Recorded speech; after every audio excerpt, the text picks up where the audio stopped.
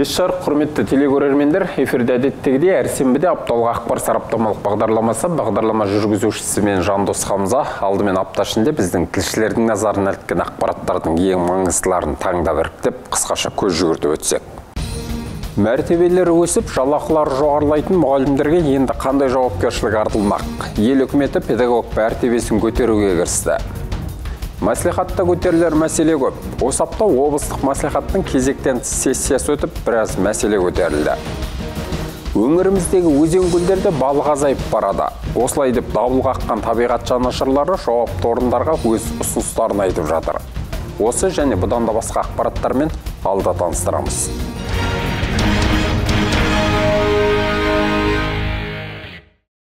отызыншы тамыз елімізде айбынды ата заң күні тәуелсіздігіміздің тірегі азаттығымыздың алтын қазығы егемендігіміз бен елдігіміздің дәлелі. Халықтың қорғаны бола білген ата заңымыздың қабылданғанына биылғы жылы 24 жыл толып отыр.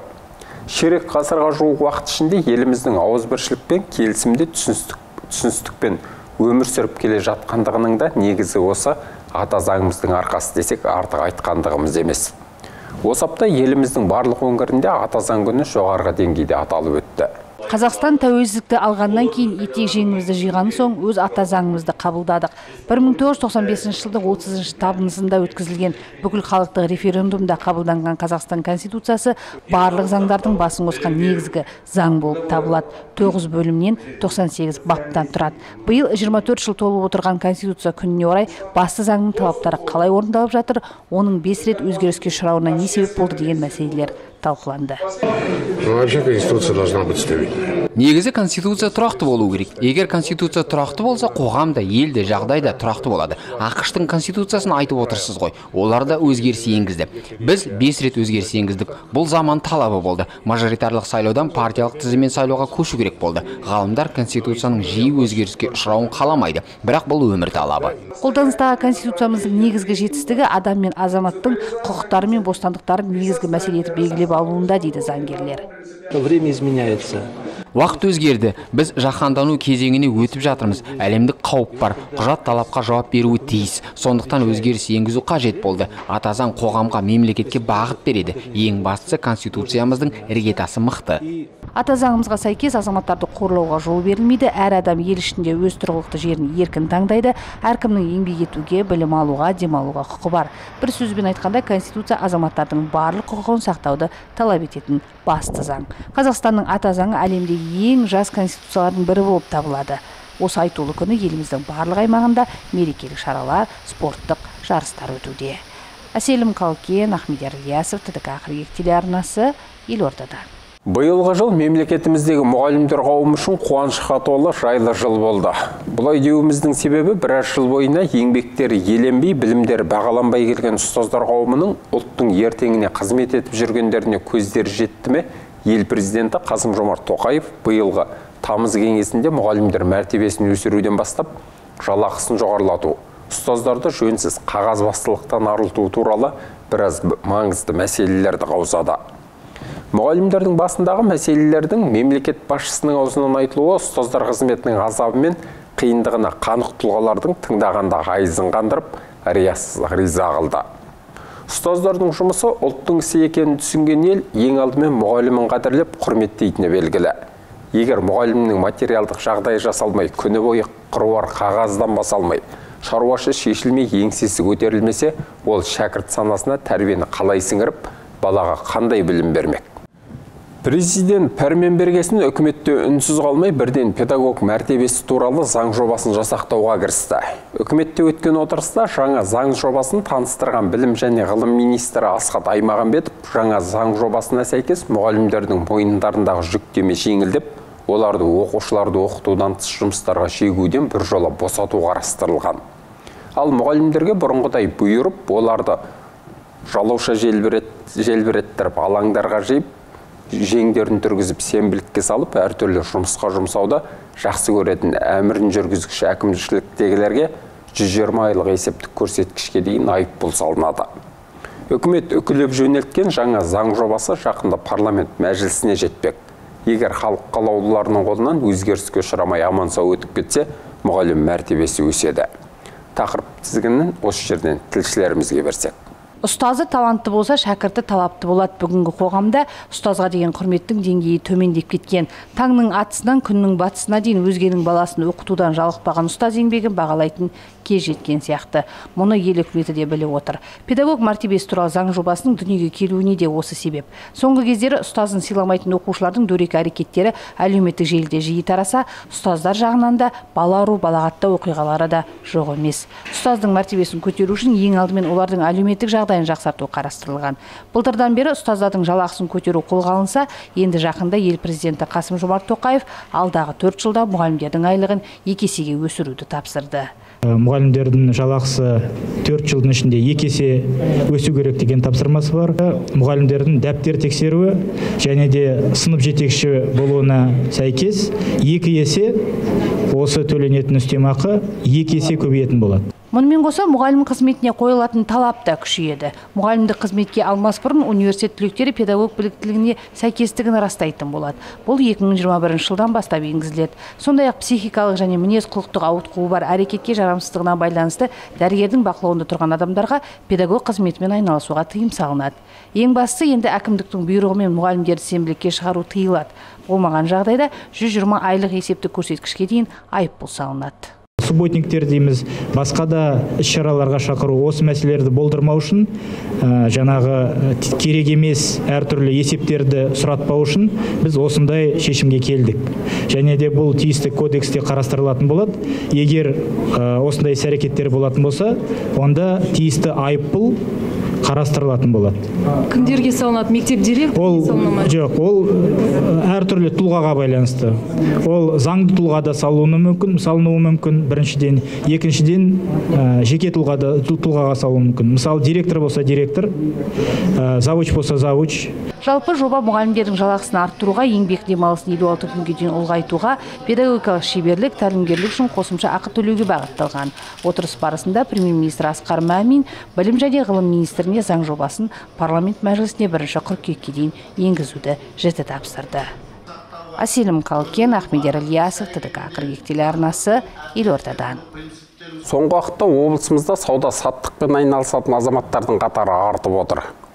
Барлығының бірдей жеке саудамен айналысуға мүмкіндігі болмағанмен де көпшілігі мемлекеттік бағдарламалардың игілігі арқылы кәсіп бастауды жөн көреді.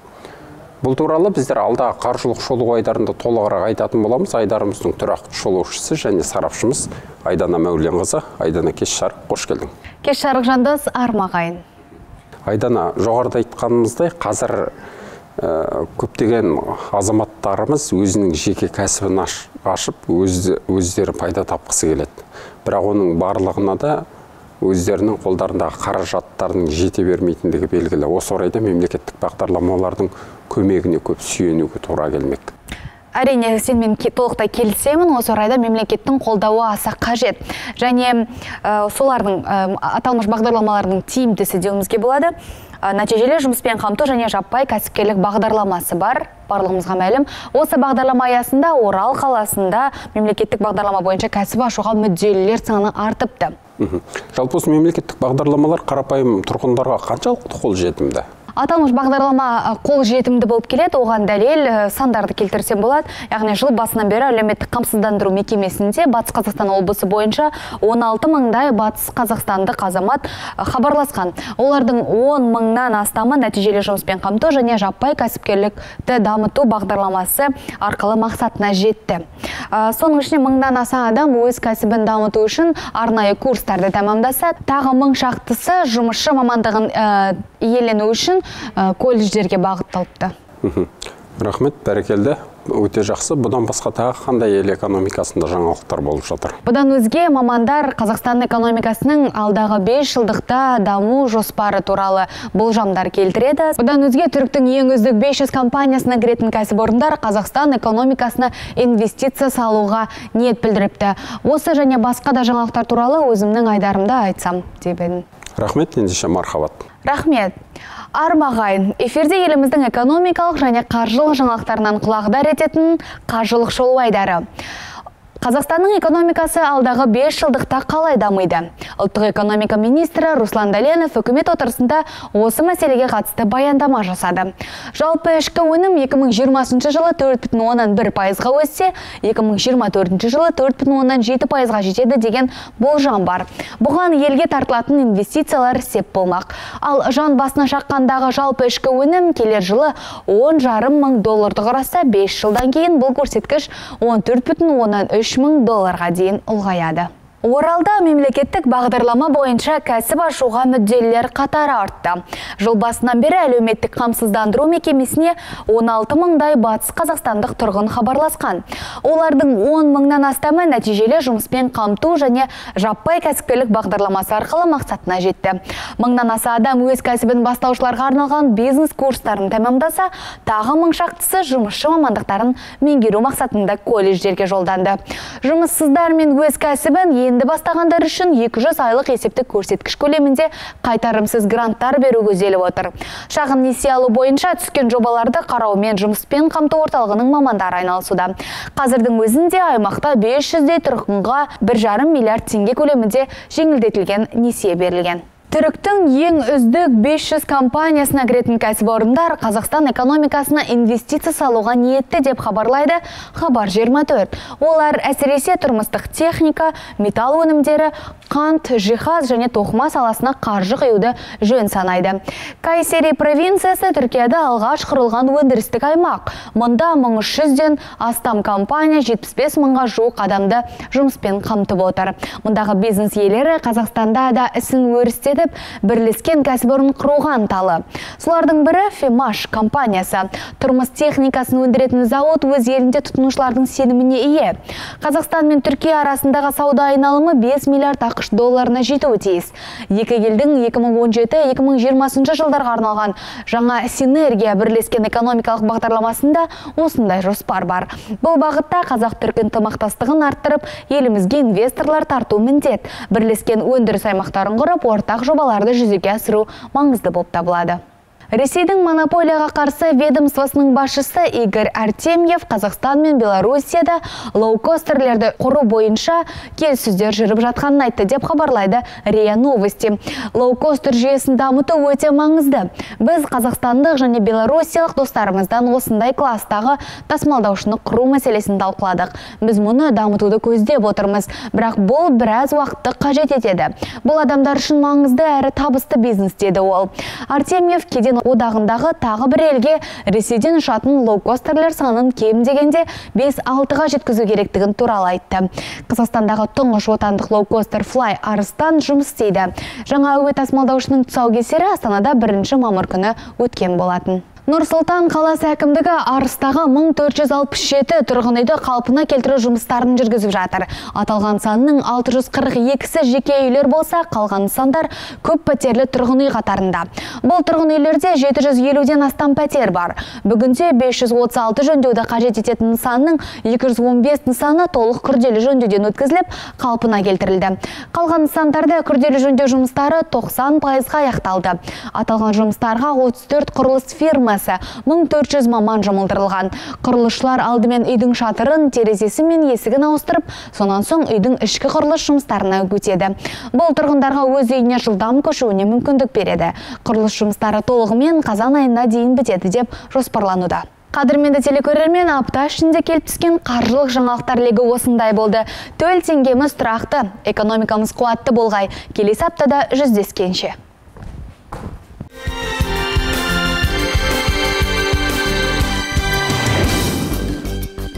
Осы аптаның ортасында облысымызда бас партия Нұр Отан партиясының саяси кеңесі болып өтті. Кеңеске өңіріміздегі партия филиалының төрағасы облыс әкімі Ғали Есқалиевтан бастап Нұр Отанның түгел өкілдері болмағанмен көзге түсіп жүрген белсенділері тегіс қатысты. Дөңгелек үстел басына галстуксыз жиналған партиялықтарға алдымен төраға бұған дейінгі атқарған жұмыстарына алғысы мен рахметін айтып, кейін көптеген жұмыстардың соңы жай ғана көзбояушылыққа ұласқанына кейіс білдірді. Тіпті әкім егер ендігі күнде елге ешбір еңбек етпей өзіне артылған міндетті адал атқармағандар партиядан кетсін деп мәлімдеді. Себебі билік партиясының сапында елге илікпейтін, халыққа қызмет етпейтін салпаңбайларға орын жоқ. олардың орнын керісінше елге сыйлы халыққа қадірі бұқараның арасында беделі бар тұлғалармен толтырмақ сонда ғана бас партияның беделі мен оған деген елдің сенімі артады. Естеріңізде болса өткен аптада елордада өткен партияның республикалық кеңесінде елбасы төңірегіндегілерді партия жұмысы алға баспай жатыр деген сыңайда сынап сөккен болатын. Расымен де елбасы сөзінің жаны бар. Қазір басқа басқа бас партияға мүше мемлекеттік қызметкерлер қызметіне кір келтіретіндей қылмыс жасап жұмыстан аластатылғаны айтылса да партиядан шығарылып шығарылмағандығы туралы ешкім жұмған аузын ашпайды. Сонау келмеске кеткен кеңес үкіметі кезінде партияға қабылдану қаншалықты қиын болса партиядан шығарылу да соншалықты қорқынышты болғаны белгілі. Ол дәуірдегі бас партияның рөлін қаншалықты зор болғанын осыдан ақ біле беріңіз. Ал қазір партияда барсың ба жоқсың ба кіресің бе шығасың ба келіп кетер ештеңе жоқ. Яғни бұл тек партияның аты ғана бар деген сөз. Өңірімізде өткен партия кеңесінде көтерілген өзге де мәселелерді тілші сюжетінен көрсек. Қағаз жүзінде атқарылған жұмыстар көп бірақ олардың барлығы алғашында жоспар кезінде көздеген мақсатына жетіп елге пайдасын келтірді ме? Егер олай болмаса нұр отан қатарында санда бар сапада жоқ болып жүрген мүшелер орындарын босатуы тиіс. Олардың орындарын өз ісіне адал халыққа жанашыр елге сыйлы жандар басқаны абзал деді ғали есқалиев. Біз халықтың тарапынан үлкенді кішілі мәселелерді немесе мұң мұқтажын жедел түрде шешу жолдарын белсенді қарастырып ол үшін мемлекеттік және уәкілетті органдар депутаттармен бірлесіп тығыз жұмыс жасауымыз қажет. Тек сонда ғана облыстың әрбір тұрғыны одан әрі дамуға және өзін өзі жүзеге асыру үшін барлық мүмкіндіктерге ие болады. Түбінде қаралған қоғамдағы күйіп тұрған мәселе жемқорлықпен күрес те осы отырыста қозғалмай қалмады. Фракция жұмысын күшейтіп халықтың әл ауқатын оңалту қажеті баса айтылып өзекті сұрақтар шешімін табу үшін бюджет қаражатының шығынын бақылауды қатаңдату керек деген әңгіме көтерілді. Сыбайлас жемқорлыққа қарсы іс қимыл жөніндегі облыстық кеңес жас отан жастар қанатымен бірлесе отырып қоғамдық бақылау шеңберінде жүйелі негізде арнайы орта және жоғары оқу орындарын сыбайлас жемқорлық мәселелері бойынша мониторинг жүргізудің қарқынды түрде жалғастыру қажет. Партияның жұмысын белсенді қылып халықпен кездесу және кездесіп қана қоймай олардың түйткілдерін шешіп керек тұста көмегін көрсетуде. Елбасының берген нақты тапсырмалары еске салынды. Сондықтан алда артылған міндет салмақты болмақ. Биліктің арасында атқарылып жатқан жұмыстарға жақсы араласатын болса ал осы кеңестен кейін билік тармағы болсын мұғалімдер болсын медициналық қызметкерлер болсын қарапайым халықтар болсын көп балалы аналар аз қамтылған отбасыларға тікелей қатынас жасап осы партияның беделін арттыру. Нұр отан партиясының осы отырысында талқыланған мәселелер енді аудандық филиалдарға жетіп жоспарлы жұмыс кестесі құрылатын болады. Эльмира рахмешева мирболат жағипаров рустам жумашев тдк қырық екі телеарнасы.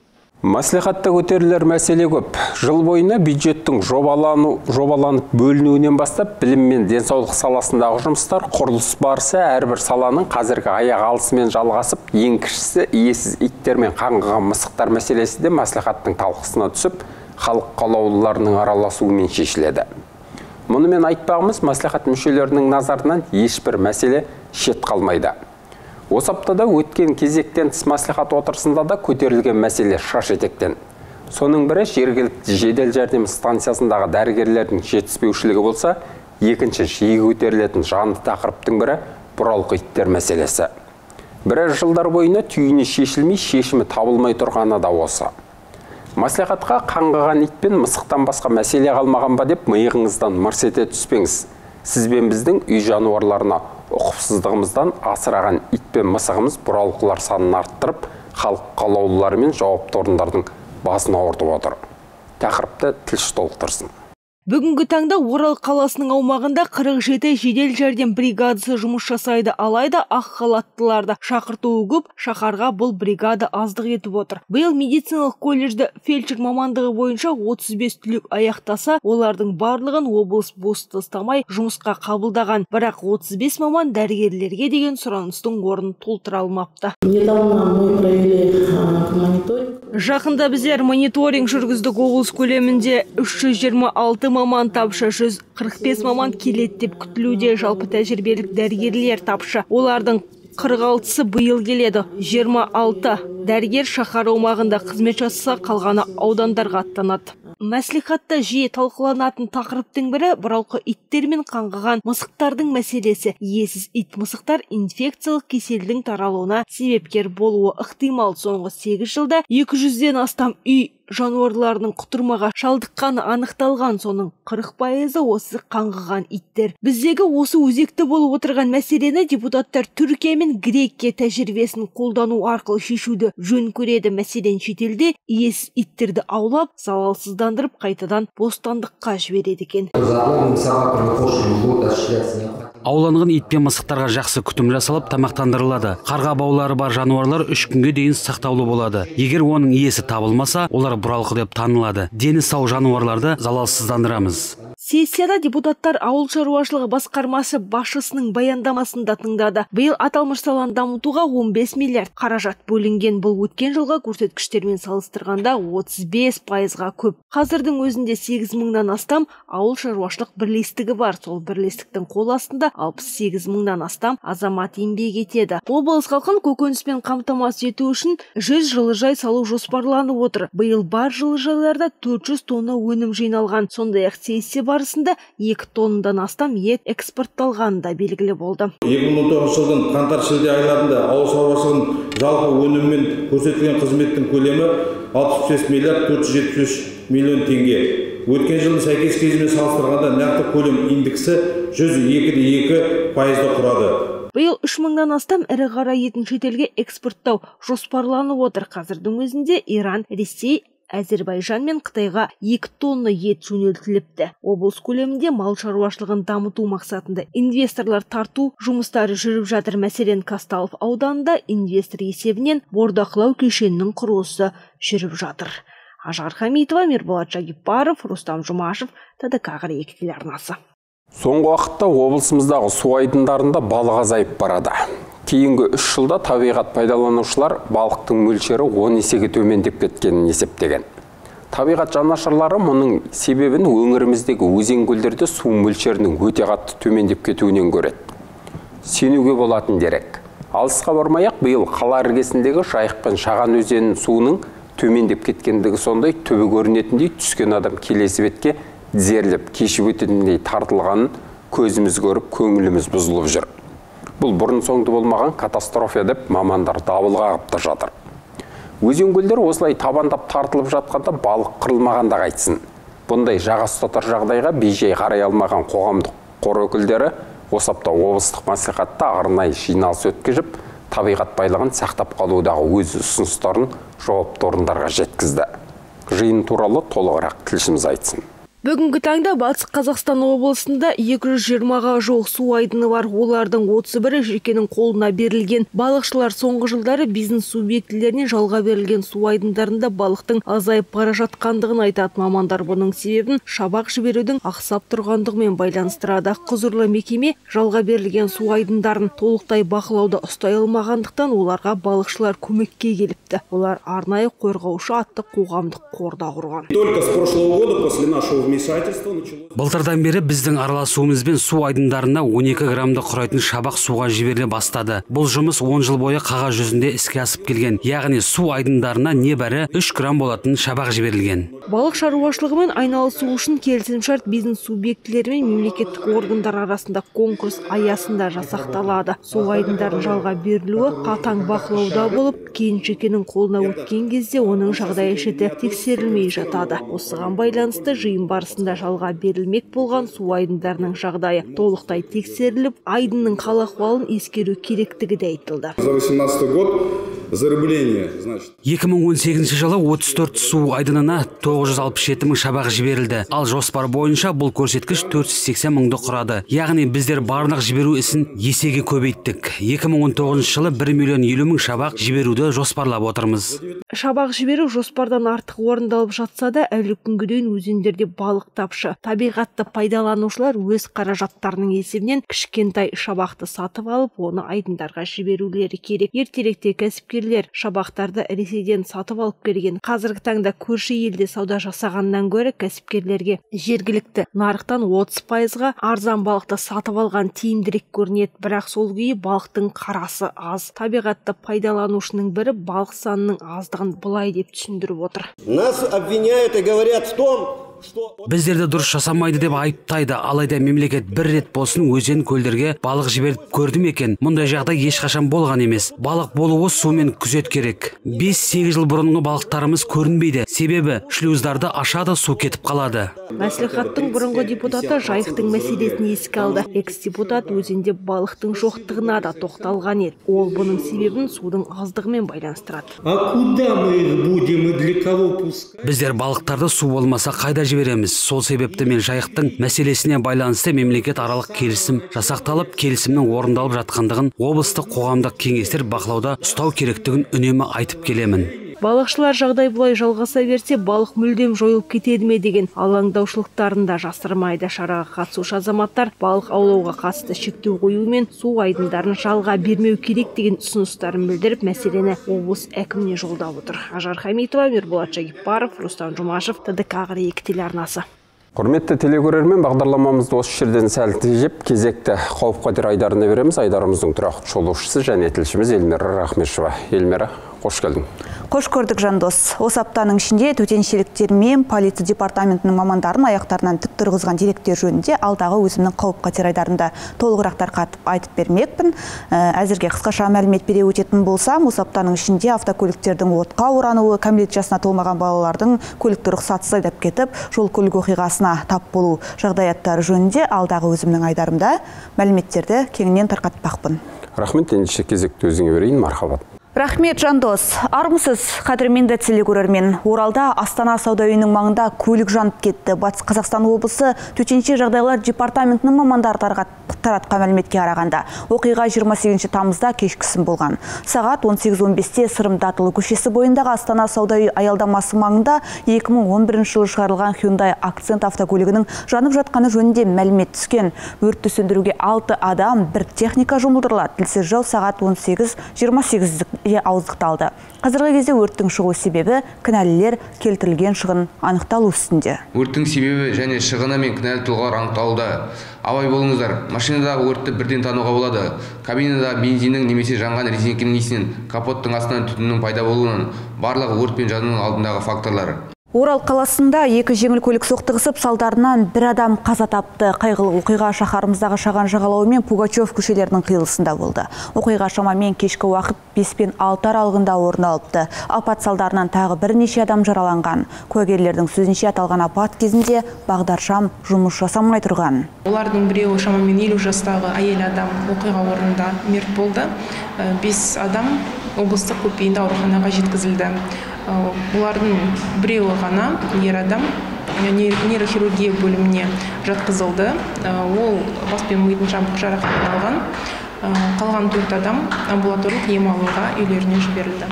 Тағы бір жол көлік оқиғасы адамдарға залалын келтірді. 25 тамыз күні Орал қаласында Лады Грант автокөлігінің жүргізушісі рөлге ие бола алмай қалып электр беру желісінің тірегіне соқтығысқан. Оқиға кешкі сағат 18.00 шамасында болған. Көлік салонында жүргізушіден бөлек үш адам отырған екен. Оның екеуі салонда қысылып қалады. Оларды шығару үшін төтенше жағдай департаментінің өрт сөндіру және авариялық құтқару жұмыстары қызметі мамандары шақырылған. Арнайы техника көмегімен зардап шеккендер құтқарылып, жедел жәрдем қызметкерлеріне табысталды. Үш адам жарақат алды олардың біреуі бір ер адам облыстық көпбейінді ауруханаға жеткізілген. Қазіргі таңда сонда екі ер адам ауыр жарақаттары болмағасын сол жерде жедел жәрдем қызметкерлері көмек көрсетіп амбулаторлық ем алуға үйлеріне жіберілді. Батыс қазақстан облысы бәйтерек ауданында әкесі туған ұлын ұрып өлтірді. Оқиға 20-сынан 21-не қараған түні болған. Әкесі мен баласы арасында тұрмыстық жанжал туындап, ол оған қарсы күш қолданбақ ниетте болады. Осылайша 1973 жылы туылған азамат 1992 жылғы жігітті бірнеше мәрте басынан күрекпен ұрған. Аталған жарақаттың салдарынан 27 жасар науқас облыстық аурухананың жан сақтау бөлімінде қайтыс болыпты. Белгілі болғандай, әкелі ұл бір шаңырақ астында тұрмайды, күдікті осыған дейін де істі болған көрінеді. Аталған факті бойынша қазақстан республикасы қылмыстық кодексінің 106 бабының үшінші бөлігі бойынша бәйтерек аудандық полиция бөлімі сотқа дейінгі тергеу амалдарын жүргізуде. Бас полицей Ерлан Тұрғынбаев Алматы қаласында орын алған оқиғаға қатысты пікірін айтты. Еске сала кетейік күні кеше, яғни тамыздың 26 күні таңғы сағат 5-те Алматы қаласында бір топ азамат арасында жанжал туындап, кейін бір тараптың өкілдері қарсыластарымен автокөлікпен аяусыз қасақана қағып, қылмыс орнынан қашып кеткен болатын. Жан түршігерлік бейне түсірілім әлеуметтік желіде тез тарады. Зардап шеккен екі адам Алматы қаласының нөмір 7 ауруханасына түсті. Біреуіне ашық бас сүйек ми жарақаты, мидың жеңіл дәрежедегі жарақаты. Оң жақ сүйегінің сыну диагнозы қойған. Жағдайы орташа ауыр екінші науқас жабық бас жарақатын алған, миы шайқалған. Жағдайы орташа ауыр деп бағаланды. Ал үшінші зардап шеккен азамат орталық қалалық ауруханаға жеткізілді. Оның сол аяғының тобығы, оң қолының шынтағы сынған, жағдайы орташа ауыр деп хабарлап отыр денсаулық сақтау басқармасы. Ішкі істер министрі Тұрғынбаевтың айтуынша, қазір ауруханада үш адам жатыр. Олардың көлікпен екі адам қаққан, яғни екі көлікте екі жүргізуші болған тек біреуі ұсталды. Проводятся поиски третьего. Екіншісін іздеп жатырмыз. Оқиғаға қатысушылардың бірі қамауға алынды. Ауруханада үш адам жатыр. Оның екеуінің аяқ қолы сынған және бас жарақатын алған. Оларды көлікпен екі адам қаққан. Яғни екі көлікте екі жүргізуші болған. Көліктер оқиға орнына жақын жерде қалдырылған. Біріншіден көлікті мас күйінде жүргізуден бөлек бұзақылыққа қатысты бап бойынша іс кейін кісі өлтіруге әрекет ету бабына ауыстырылады. Өрт кезінде халықтың қысқа қамданып жиған шөбімен бағып отырған малы жанып кетті. Өңірімізде өткен демалыс күндері бірнеше өрт оқиғасы тіркелді.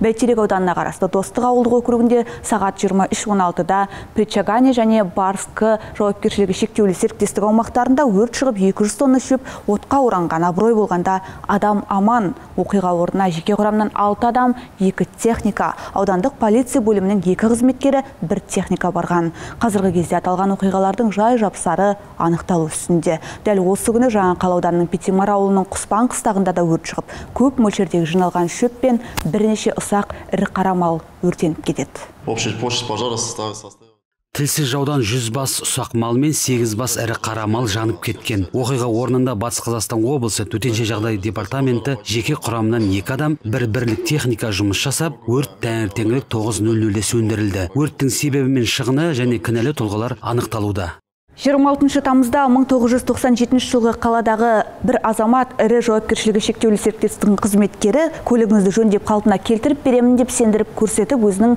қызметінің орнына бес үлкен қорапқа салынған тауық еттерін алып кеткен көрінеді. Тауық еттерінен айырылып санын соғып қалған азамат болса көлігі сынған кезде жөндей алмай оны күтумен шаршаған. Сөйтіп ақырында полицияға шағымдануға мәжбүр болады. Қарақшылар мен ұрлардың шабуылы жиі тіркелетін қылмыс түрі болып тұр. Осындай қылмыс Жылаевта орын алды. Өкінішке орай күдікті ұсталғанымен айырылған заттарынан зардап шегушіге толық қайтару мүмкін болмады. 28 тамызда белгісіз тұлға 4-ші ықшам аудан 10 үйдің екінші подъезінде болып өзгенің спорттық велосипедін ұрлап кеткен. Қызыл көк түсті рамасы бар ұрланған велосипедтің құны 30 мың 600 теңге екен. Тәртіп сақшылары подъезге кіріп велосипедті айдап кеткен күдіктіні ұстап алды. Қазіргі кезде Орал қалалық полиция басқармасы тергеу жүргізіп іс қозғап отыр. Қадірменді телекөрермен қауіп қатер айдарындағы жаңалықтар осындай болды. Түрлі айлакерлер мен қылмыскерлерден төтенше жағдайлар мен апаттардан аман сақ болғайсыздар алдағы аптада аман саулықта эфирде жүздесейік.